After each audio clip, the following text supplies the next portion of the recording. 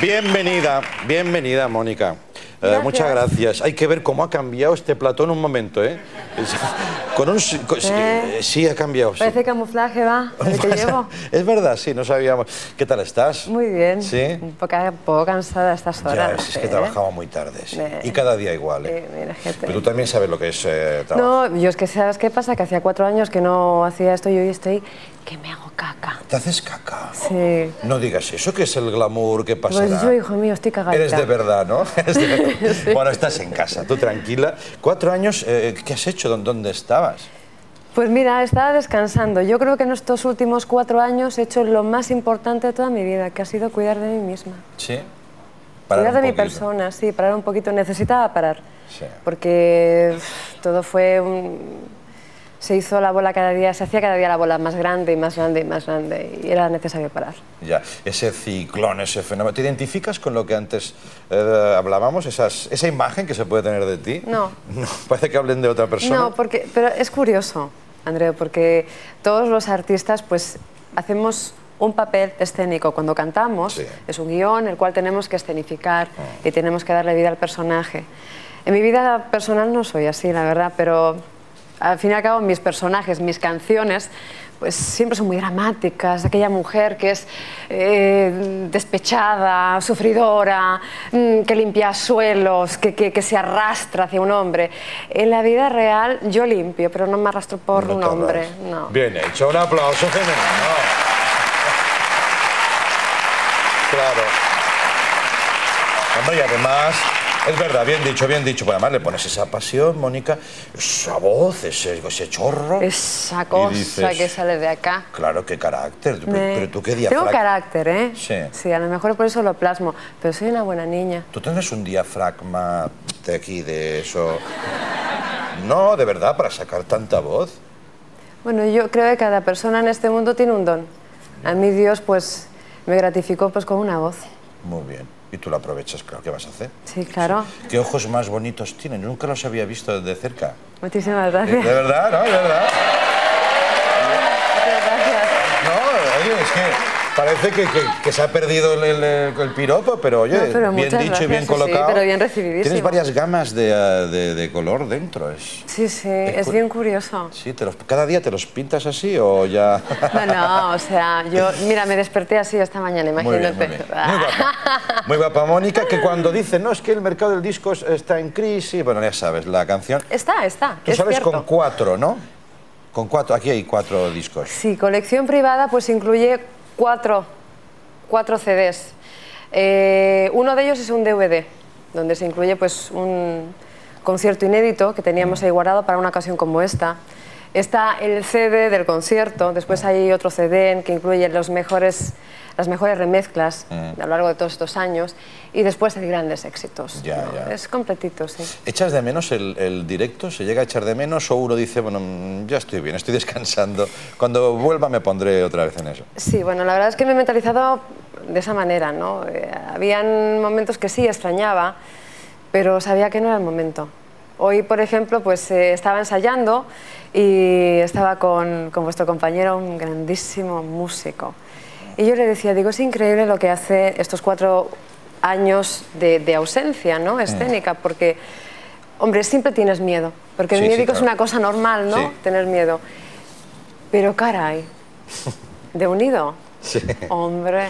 Eh, bueno, nuestro compañero Freddy va a acompañar a Mónica dentro de los momentos. Te lo agradecemos mucho porque realmente, pues bueno, es un, un pequeño reto, ¿no? Venir aquí a cantar y creo que también una muestra de respeto hacia la gente. Sí, Nos gusta el directo y el playback. está pues, bien, no, eso está bien, está ¿no? bien. Ojalá hubiera más programas así. Sí, ¿no? Ojalá. Muy bien. Oye, es verdad, he leído que, que tú conociste a Dalí Sí. en Figueras. Sí, tiene una historia, sí. Mi madre era eh, la señora de limpieza de una, de, la- de una, de una casa de personas pues, que en Figueras sean importantes. Y Salvador, pues los últimos años, pues pasó mucho tiempo allí con esa familia. Sí, Ahí lo conocí. Era muy pequeña, ¿eh? tendría unos 13 años.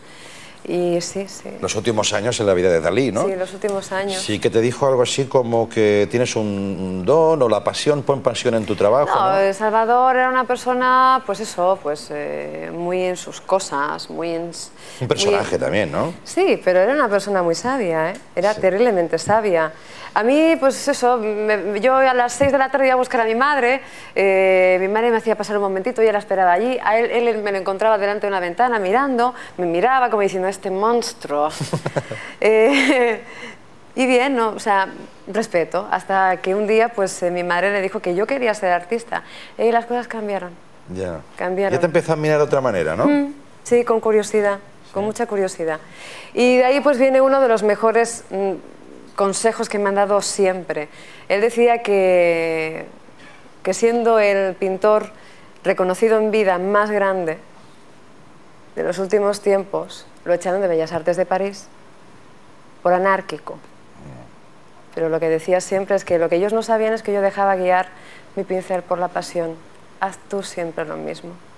Y es verdad, el día que no la he escuchado que, o que no he, o sea, y no he escuchado sobre todo la intuición que tenemos los artistas, ¿no?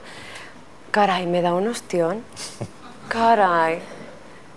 Pero cuando tú no reconoces tu propia pasión, un día que pones el automático, ¿no? Dicen los artistas, a veces lo dicen. Mm. Hoy es una noche, es un concierto en que puse el piloto automático. No hay que hacerlo nunca, ¿no?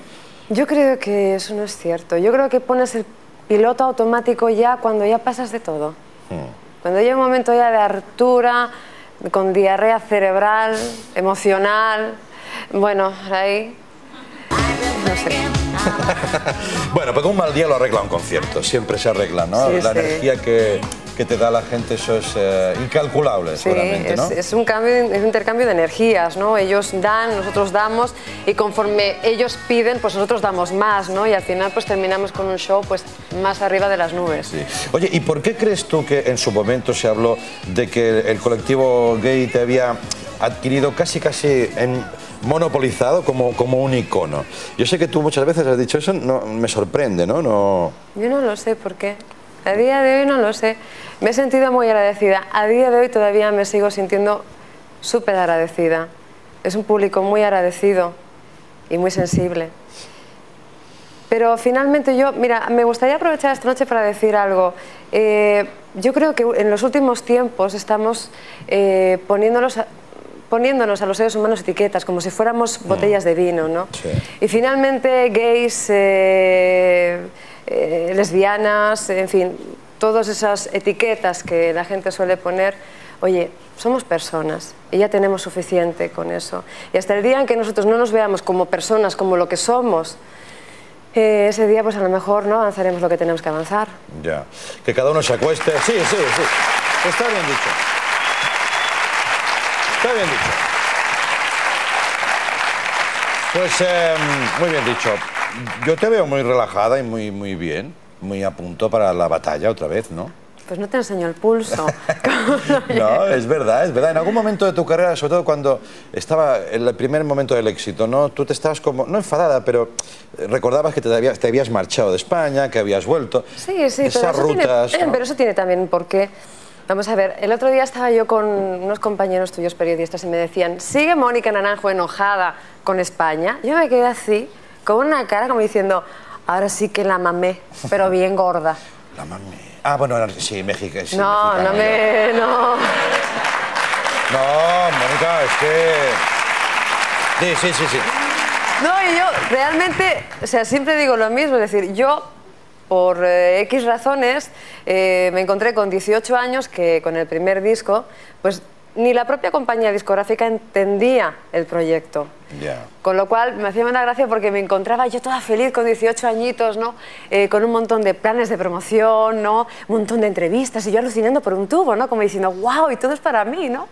A día de hoy, oye, me pesa, ¿eh? pero en aquel momento era súper divertido. Oye, pues nadie aparecía. Me quedaba compuesta y sin prensa. El primer proyecto no funcionó. No, ¿Se no puede funcionó. decir así? No, no se trabajó, nadie entendió nada. Con lo cual sí me dieron la oportunidad en México. Mm. Llegué allí con 18 años. Eh, me encontré con un país eh, con una cultura distinta, una ciudad que aquello era bueno, interminablemente grande. Y él fue a hacer el primer entonces. En aquel entonces existía siempre domingo. Si algunos hemos visto Galavisión, pues lo podemos haber visto alguna vez. Eh, hice el primer programa y a la mañana, o sea, fue todo súper rápido, ¿no? Al día siguiente ya todo el mundo hablaba de Mónica Naranjo, no sé por qué, no sé si fue por el horario, por el vestido, por el color de pelo. Yo la cuestión es que llegué por la noche al, al hotel y desde la ventana veía gente que me llamaba. Y yo en aquel momento llamé a Cristóbal, a mi productor le llamé y le dije, Cristóbal, tengo fans, están llamándome. O sea, para mí era todo súper nuevo, ¿no? Y la verdad es que yo tengo recuerdos muy bonitos. ¿Qué edad tenías? 18, 18 años. sí. ¿Y qué crees tú que pasa en México que enciende esa, esa chispa que no pasó aquí? Hombre, dieron la oportunidad. A mí México, la compañía entendió perfectamente el proyecto. Eh, México me dio la oportunidad. Eh, Raúl Velasco, que era entonces la persona que manejaba siempre en domingo, que era pues el programa Índice. Tiene un, un índice ter- terriblemente alto en audiencia los domingos. Eh, y me dio la oportunidad. Y allí pues en México pues empecé. Me Ya. perdonaron todos los fallos, me abrieron el corazón, me lo abrieron todo. Y yo la verdad es que pasé muchos años allí, pero yo creo que han sido unos años que no los borraré en la vida. Qué bonito. ¿Sabes que nos ven desde México DF también? ¿Ah, sí? Sí, nos llegan mensajes. ¿Cómo podría yo quedar bien? ¿Qué, qué podría decirles a los de México DF que les llegara en su... Ándale, güey, vamos de reventón. Bello reventón. Bueno, pues reventón, reventón. Oye, luego la historia pues ya es conocida. Vuelves aquí, está ya el ciclón, el Pero fenómeno. eso todo fue una sorpresa, ¿eh? Sí, cuando llevabas el pelo de yo dos... recuerdo que tuve una reunión con la compañía, que esto muy pocas personas saben, y la compañía española estaba ya en plan pique, no, pues nosotros tenemos que lanzar el disco. Yo recuerdo que era un moco, ya tenía 21, 22 años, estaba así, y yo le decía entonces al director de sello, yo no quiero, yo no quiero, yo no quiero que, que- que se edite este disco aquí. Yo no quiero volver a sufrir. No quiero volver a, que- a pasar esos bochornos de que de repente tengo entrevistas y nadie viene a entrevistarme. es, es- es que es un bajón terrible. Y pues mira, no, la verdad es que fue. Yo recuerdo una palabra que hizo el director de sello que fue: dejó un portafolios caer en la mesa con un gran genio y decía: Por mis cojones que voy a vender discos de Mónica Naranjo. Y coño, se vendió. Sí. Eh, Le picó, le picó al tío, ¿no? Caray, se le picó. Pero Le bueno, picó. en fin, todos se quedaban palabras. Yo regresé a México y de repente un día me dicen, Mónica, llevas 50.000 en España. Y yo, ¿la, ¿la qué? Caray. Y ya es que fue toda una sorpresa. Que ya sí llegaste, llegaste, que, que- que te comías el... Sí, pero fue muy gracioso porque yo recuerdo que el primer programa que hice yo en España, después de, todo esa, después de toda esa aventura mexicana, fue eh, sorpresa, sorpresa. Hombre... que entonces lo llevaba Giorgio Areso. Y yo recuerdo cuando llegué allí, pues eh, me presentaron a Giorgio, una persona súper seria y, es una persona súper entrañable. Y yo al principio la miraba así, yo no sabía que era sorpresa, sorpresa, porque yo allí pues no lo miraba, no sé, no sé, al menos yo no creía que se Bueno, era una retransmitía. sorpresa también para ti. Y sí, me- sí, sí. nada más llegar me decían, pues usted tiene que ir al, al programa este, le damos los billetes para ir a Madrid y bueno, allí se apañan. Y recuerdo que llegué allí y la gente pues me iba explicando que era un, un programa pues con un índice de audiencia vital, increíble. Y yo, sí, sí, sí, vale. ¿Y de qué va esto? Ah, sorpresas. Y yo, caray. Sí. ¿eh? Entonces, pues yo recuerdo que Giorgio me puso un montón, cuando me vio, es que he visto el vídeo, me encanta, y te quiero, pues, eh, con un montón de bailarines, cuando estés cantando Desátame, pues que te toquen, ¿no? Dije, ay, no, yo no soy vedette, Tú, no, entonces, primero yo que soy nada, tardes. cantante. Primero que nada, buenas Oye, pues tardes, fue sí. tan cabezón que me dijo, esto es lo que hay. Y yo recuerdo que le dije al promotor, si esto es lo que hay, yo me voy. Y mi prom- promotor casi de rodillas, por favor, que es importantísimo este programa. Me digo, pero tú te crees que me van a tocar aquí las tetas, delante de la tele. Digo, como que no. las tetas, no por aquí abajo. Digo, no, no, iban a todo. Hombre, No, que yo me he fijado que en las coreografías hacéis como que os tocáis, pero no os tocáis. tú tú hazme caso, les gustaba el pescado. ¿Eh? Les gustaba el pescado, sí. Entonces, Allí había, había tema, claro. oye, me hizo hacerlo. Dijeron, esta nena es nueva, no sabe, No, no, no, pero sabe me, hici- nada. no, no, me hicieron hacerlo. Oye. Y ya cuando vio George se sentó justamente delante empezó a ver pues, el juego de las manos, pues toda aquella historia, ¿no? Sí. Con el de Satame y toda la vaina. Y dijo, "Ah, no, no. Y yo cuando me giré hice, como así, como niña pequeña. Y fue toda una sorpresa porque yo fui a cantar una canción y terminé cantando tres.